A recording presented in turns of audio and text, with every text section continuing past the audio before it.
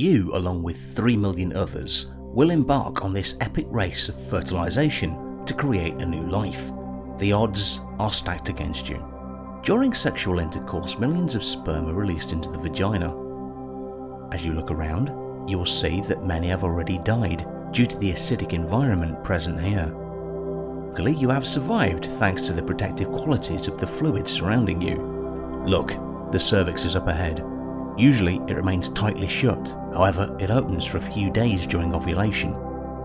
Cervical mucus is thinned during this time, so you will have an easier time swimming through, but don't take it too easy. Millions can get trapped in what's known as the cervical crypts. They may be able to swim free later and rejoin the race. As you enter the uterus, watch out for white blood cells. They will treat you as an unwanted invader. It looks like they have already claimed the lives of some unfortunate ones.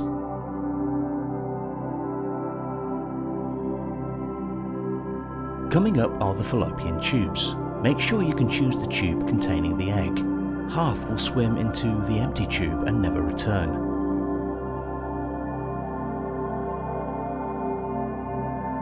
At this point in the journey, only a few thousand of you remain. The end is almost in sight. You'll have to swim hard against this current caused by tiny hair-like structures called cilia. They are wafting the egg towards the uterus.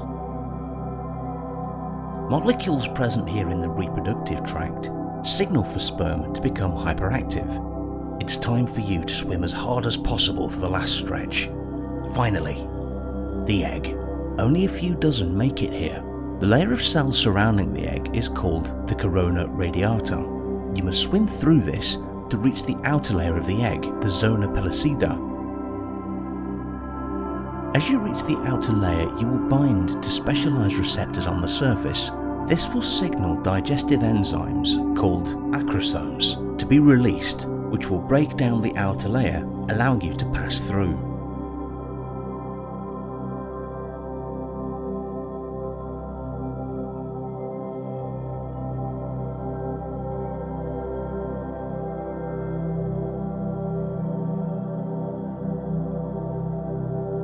You've done it. As the first to make contact with the egg cell membrane, you have fertilized the egg. You will now fuse with the egg and be pulled inside the cell. Once this happens, there is no going back.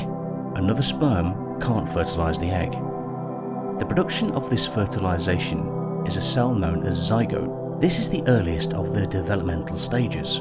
Your genetic material reforms into 23 chromosome pairs. This will then combine X corresponding 23 chromosomes, providing the zygote with all the information necessary to transform this single cell into the human body. Over a few months, the fetus can form from just a single cell. The fetus will continue to mature over nine months until it's time to embark on a new journey.